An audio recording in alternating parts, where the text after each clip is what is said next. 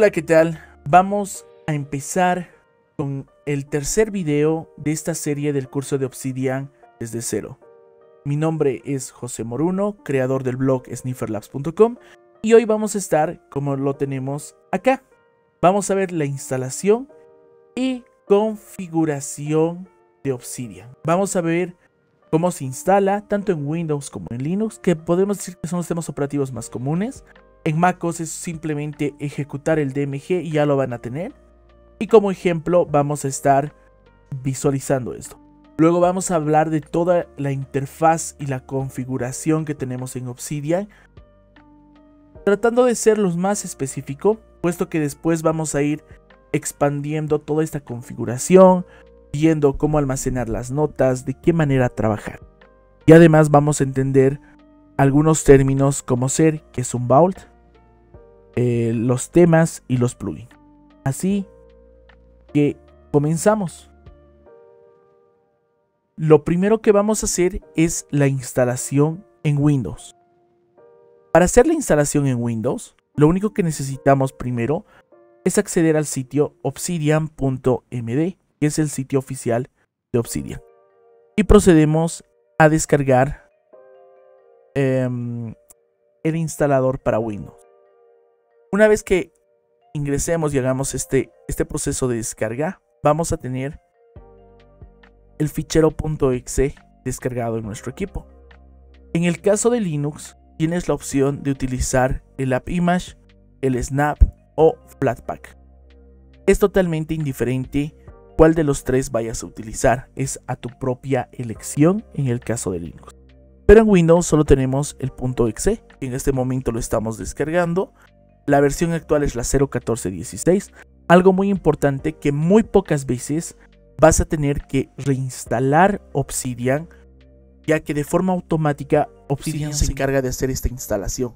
Tú no necesitas volverlo a instalar. A menos que exista algún problema o alguna actualización muy grande y tengas que volverlo a instalar. Pero al volver a instalar no pierdes tus datos ni tu información. Una vez después de que termine de instalar, vamos a tener los diferentes resultados. Ni bien terminamos de instalar, nos muestra esta interfaz, en el caso de Windows.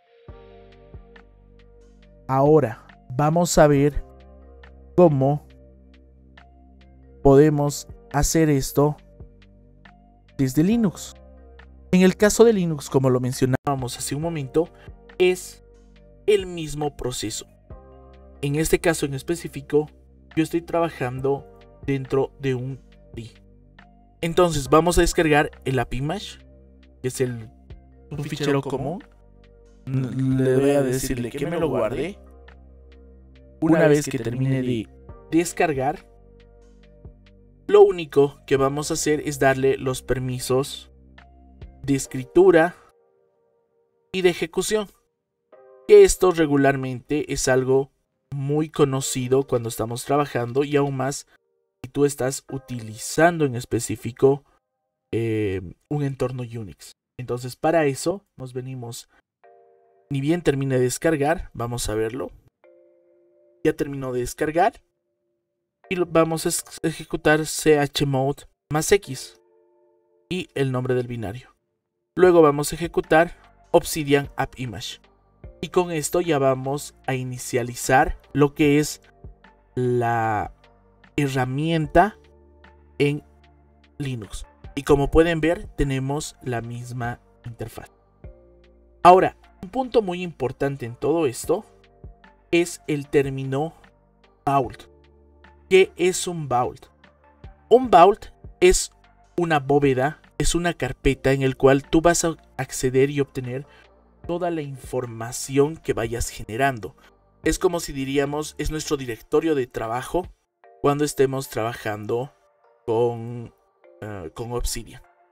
Puedes tener múltiples vaults y estos van a ser totalmente autónomos entre, entre ellos. No necesitas forzosamente estar en uno.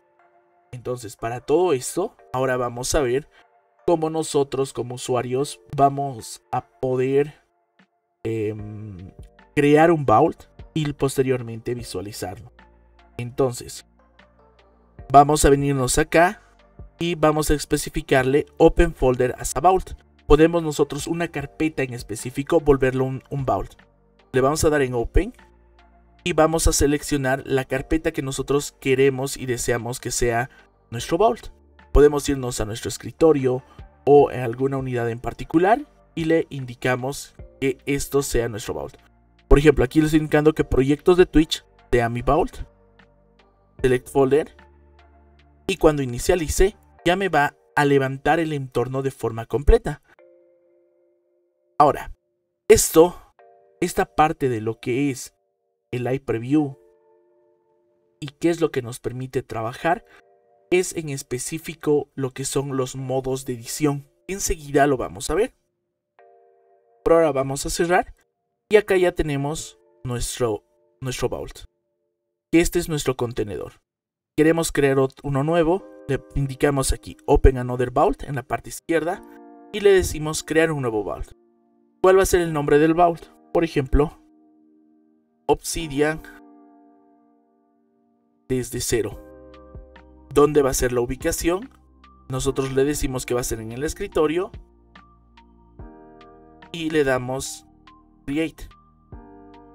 Entonces, como nosotros le estamos especificando, ya nos ha cargado el workspace y acá tenemos Obsidian desde cero. Y si nos dirigimos al escritorio, vemos que acá está Obsidian desde cero, la carpeta que hemos creado. Y dentro de cada carpeta nos crea un punto Obsidian con una estructura muy similar a esta. De aquí tenemos lo que son plugins, luego tenemos una carpeta que son temas y los CSS que vamos a ver posteriormente en próximos, en próximos videos. Ahora vamos a ver lo que llega a ser la configuración del editor. Esta configuración de editor la tenemos a continuación. Es que está en esta parte. En el editor nosotros tenemos distintos modos de edición. Ojo que aquí es muy importante. El modo de edición y el modo de vista, el de lectura. Para eso, ¿cómo lo hacemos? Estamos primero, aquí vamos a crear una nueva nota que va a ser nota de ejemplo. Y dentro de esto, nosotros podemos, tenemos aquí en la parte superior un icono para editar o para cerrar. Eso lo vamos a verlo en más detalle acá. Acá tenemos una nota que va a ser nueva nota. Y aquí podemos empezar a escribir. Hola, esta es una nota, una nueva nota de prueba. Y acá está en modo de edición. Y si nos venimos y apretamos control E, es el modo de vista el modo de previsualización. Con este modo de previsualización vamos a trabajar a la par con la parte de el nuevo modo que es un live preview. Que para esto deberíamos, por ejemplo, si vamos a hacer un texto, em, comenzamos a redactar el contenido y esto nosotros si lo queremos poner en negrita tenemos que hacer de esta forma. Y si queremos ver la edición, deberíamos de hacer un control E y ver el contenido. O la otra forma es dividimos, hacemos un split de esto y le decimos que nos linkee con un panel acá. Entonces esto lo ponemos en modo de previsualización y aquí podemos empezar a escribir el texto en cursiva. Entonces acá ya le estamos especificando qué es lo que queremos. Como ven acá ya se previsualiza lo que estamos queriendo hacer. Nivel 1 y aquí ya lo tenemos en específico. Estos son los dos modos principales, tanto modo de edición, que es el, lo que llega a ser el modo de vista y el modo de previsualización. Pero como últimamente Obsidian ha generado lo que es el Live Preview, para eso nos dirigimos a la opción del editor y aquí en editor destiqueamos lo que es Legacy Editor. Le damos en Relaunch. Esto siempre nos va a pedir. Y como ven, aquí está la nota. Vamos a ver, si hacemos clic ya nos cambia en modo de edición. Y con esto nos permite ver los cambios que nosotros vamos a tener. Tabla 1. Hola. Tabla. Como ven, ya tenemos la tabla realizada, la tabla ya hecha. Y a partir de este modo nosotros vamos visualizando los cambios. ¿Cómo tú lo podrías hacer? Depende de ti. Yo en lo personal prefiero usar en modo de edición. Eh, prefiero estar siempre escribiendo y no ver este, modo de previsualización en específico.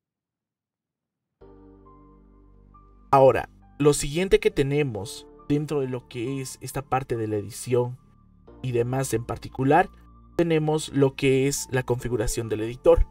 Aquí ya hemos visto que podemos poner que por default un nuevo panel esté en modo de edición o en modo de lectura.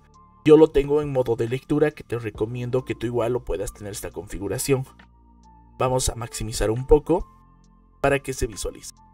Luego el modo de edición por defecto. Aquí puedes usarlo como tú gustes, de una u otra manera, sin ningún inconveniente.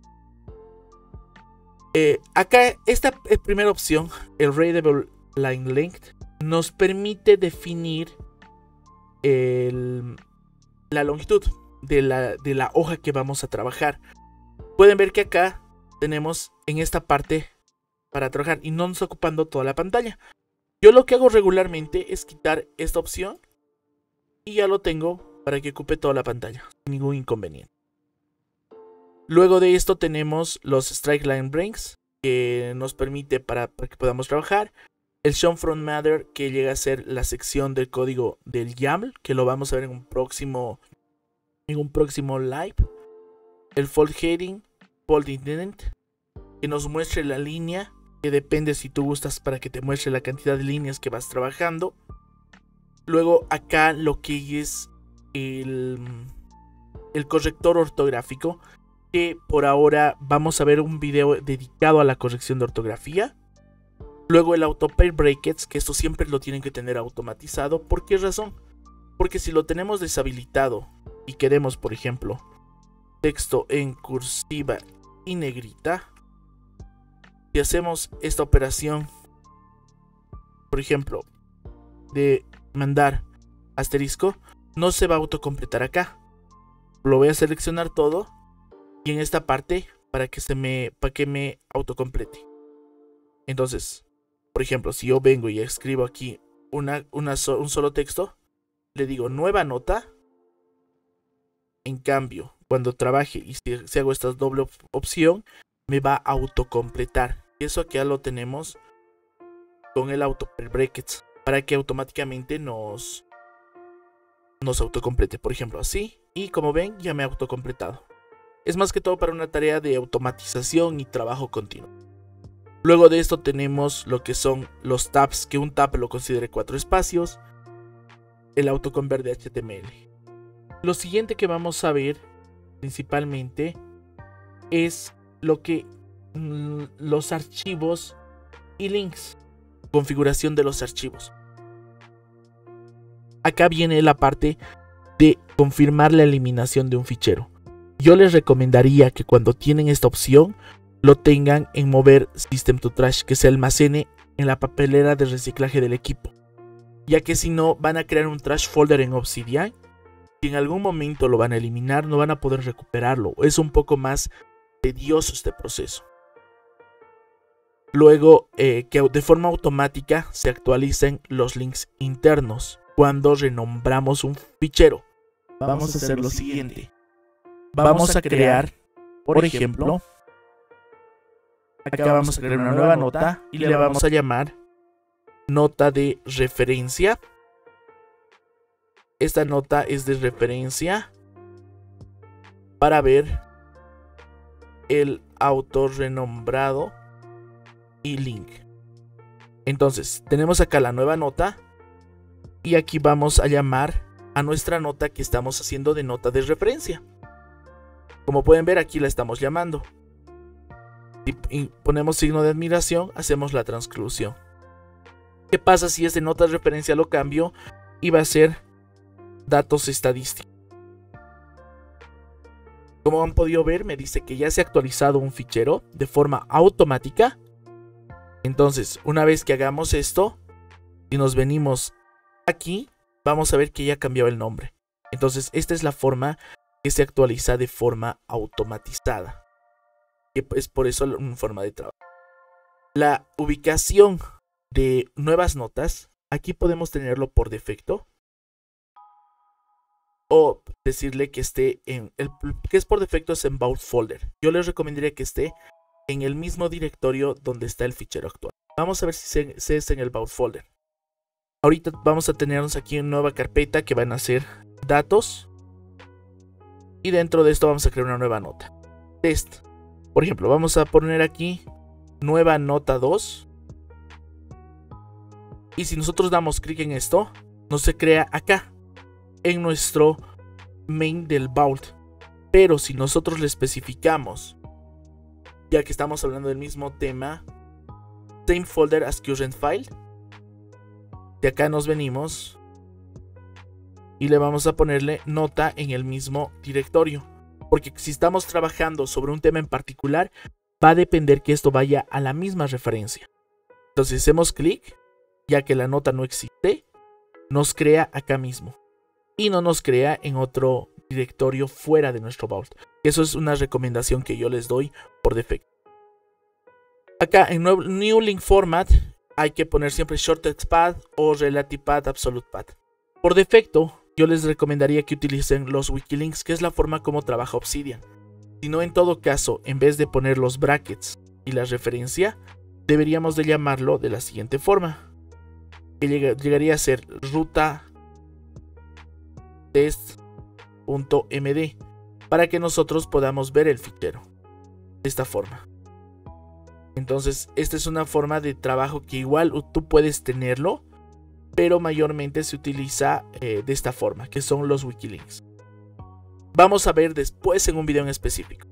Acá podemos hacer que nos detecte todas las extensiones, acá nos visualice todas las extensiones que lo pueden tener. Y aquí es un punto muy, muy importante. Por defecto las imágenes, las capturas de pantalla que nosotros llegamos a tener, nos van a, generar, por ejemplo acá, vamos teniendo paste image. Vamos a ir cargando múltiples imágenes y ven que se va generando por cada copia que hacemos un fichero en específico. Imagínense esto qué tan grande puede ser mientras más grande crezca nuestro vault. Entonces es un proceso un poco complicado lo que podemos nosotros ir trabajando con esto. Para eso, yo les recomiendo que hagan lo siguiente. Le mencionen aquí, en la parte del Vault Folder, y especifiquen que la ubicación va a ser en el mismo directorio donde estén creando ustedes la nota. Es decir, nos venimos aquí en File Links Algo aquí pasó. Nos venimos acá. En la parte de lo que llega a ser los file links. Y aquí le vamos a decirle que sea en el mismo folder donde en el mismo folder donde esté la nota actualmente. Y aquí vamos a mencionar imágenes. Entonces con esto ya le estamos diciendo dónde va a guardar. Ahora, si acá tenemos una carpeta dentro de nuestro, de nuestro propio directorio, ya vamos a poder almacenar toda captura que tengamos sobre ese mismo directorio. Por ejemplo, acá. Y aquí le vamos a poner imágenes nuevamente. Para que se pueda ver. Ahora estamos en esta carpeta de datos. Vamos a eliminar esto. Control B. Y como ven ya se creó en imágenes. Ahora si nos venimos aquí a la, a la parte de la ruta. Control B nos genera su propio fichero con el nombre que nosotros hayamos definido. O le pueden llamar attachments con el nombre que ustedes gusten, según el trabajo que estén realizando o la forma de que ustedes quieran trabajar. Eso sería por un parte, por, por esta parte. Luego tenemos lo que es la apariencia. Obsidian cuenta con distintos temas. Por defecto está, bueno, para mí el Dark. Tenemos un Light, que como pueden ver ya cambia la interfaz. Ya lo podemos visualizar. O el tema Dark, para gustos y colores. Si queremos cambiar algún tema, nos venimos aquí a la opción de Manage y vamos a poder acceder a los distintos temas. Y el próximo video vamos a explicar eh, qué es los temas y la configuración en específico. Luego los fonts podemos cambiar el font por el que nosotros deseamos en la parte de la interfaz. El, el font del texto, el tamaño del font del mismo modo y los CSS snippets que vamos a darlo uno dedicado a esta parte en particular. Luego tenemos lo que son los hotkeys, que son los atajos de teclado. Esto para alguien que le encante la productividad puede trabajar en particular con esto. Luego de esto tenemos lo que es la parte del about, y aquí es, viene la actualización. Yo por ejemplo he hecho esta una reinstalación en la 0.1323 y la versión actual es la 0.14. Marcas que se actualice de forma automática y en esta parte puedes cambiar el idioma y el lenguaje de Obsidian. Te recomendaría que lo mantengas en inglés, puesto que en castellano hay algunas que no tiene mucho sentido la traducción y es un poco complicado verlo. En mi caso, como yo soy, estoy pagando el servicio de Obsidian, la aplicación, he hecho un pequeño aporte, soy Insider Catalyst. Y yo tengo aquí marcado para recibir los Insider Bills, que son bills que salen primero para una versión Em, de prueba, somos los conejillos de India y después se, hace de forma pública cuando se encuentra usan y demás. Luego aquí la parte de la cuenta, que es más que todo el logueo que se tiene en particular con la herramienta. Y luego tenemos lo que son y por último los plugins. Tenemos los core plugins y community plugins. Los core plugins son todas estas opciones que tenemos por defecto implementados. Por ejemplo, tenemos aquí la opción del Page Preview. Que si nos venimos acá y nos venimos aquí, con control no podemos ver. Pero si nos venimos nuevamente acá en Core Plugins y le especificamos que nos habilite Page Preview, el panel de tags, Node Compressor, Templates, Slash Commands, podemos aquí ir por ejemplo los, los que nos importen las notas. Y aquí vemos que ya tenemos las notas anidadas. Como pueden ver. Podemos ir visualizando los distinta información. Ahora, si esta nota es importante para nosotros, la marcamos como favorita dentro de Obsidian. Y aquí tenemos este panel. Y acá ya tenemos nuestra nota seleccionada como favorita. Luego, si queremos ver los tags, acá está nuestro panel de tags y tenemos del mismo modo toda la información conforme vayamos creando. Ahora, por otra parte, lo que son los plugins de la comunidad, acá nos indica que tenemos si desactivamos, corremos esto bajo nuestro propio riesgo. Esta alarma y notificación es solo porque son datos de plugins de terceros. Hasta el momento que estoy realizando toda esta serie de videos y el uso que son cerca a dos años de Obsidian, y ningún problema he tenido, en ningún momento tuve un problema con el plugin. Ahora, acá nosotros podemos hacer la búsqueda de algún plugin, que son 584 plugins. Y por ejemplo, vamos a, queremos instalar Calendar o queremos instalar Excalidraw, un plugin en específico, le damos a install. Y una vez que demos a install, enable. Entonces ya tenemos el plugin instalado listo para trabajar. Y en, mayormente se nos activa en el lado izquierdo para que nosotros podamos ver el trabajo de la herramienta o la utilidad. Por ahora, hasta acá terminamos lo que llega a ser la parte de los de, este, este, tercer video. Si tienes alguna pregunta, algún comentario, alguna duda, sabes que lo puedes hacer en los lives en Twitch o si no, acá en YouTube. Así que sin más, nos vemos en el próximo video. Hasta luego.